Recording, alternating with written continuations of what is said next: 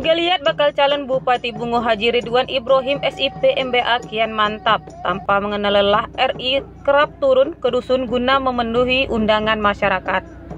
Terpantau pada 10 Desember 2019, pengusaha sukses itu mengunjungi masyarakat Kecamatan Batin Tiga Ulu, khususnya Dusun Aurcino dan Muaro Buat. Kedatangan RI disambut hangat dengan iringan rabana oleh warga. Hapsah salah satu warga setempat mengatakan, Sosok Ridwan Ibrahim sangat dirindukan di kalangan masyarakat. Menurut Hafsah, selain mengayomi, RI juga merangkul semua kalangan tanpa membeda-bedakan suku dan budaya.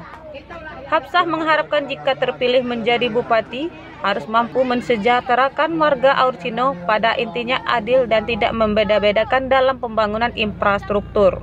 Uh, itu yang sesuai yang dibilang uh, Bapak tadi, itu kami mohon uh, percetakan sawah baru. Selain itu? Selain itu uh, masjid alhamdulillah sudah dianukan uh, secara lisan. Uh, uh, kemudian tawer itu sangat butuh ya. Tahu? Tower, tower. Oh, tower. Uh, selain butuh. itu tuh uh, jalan mungkin. Oh, jalan tuh yang sangat anu hmm. banyak yang butuh kan. Sinyal ya. Sing sinyal jalan uh, percetakan sama itu sangat sangat penting itu tuh kerjasamanya apa? Oh, Pak RI itu kepada masyarakat Orcino itu yang diutamakan. Lebih membutuhkan uh, rakyat yang miskin lah yang bisa membantu rakyat kami.